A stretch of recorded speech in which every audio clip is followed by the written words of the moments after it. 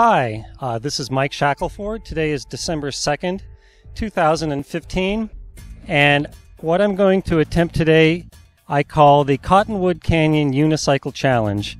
It's my ultimate goal to be able to unicycle up and down Fargo Street in Los Angeles, which is the highest, steepest street in Los Angeles.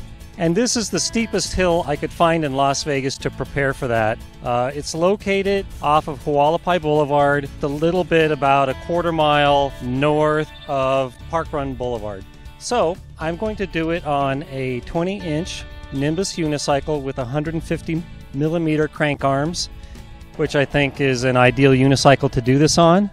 Um, and I'm going to attempt to go both down and up on a unicycle doing an idle at the bottom, turning 180 degrees, so doing the whole thing without stopping. Um, so, without further ado, let me try and we'll see what happens.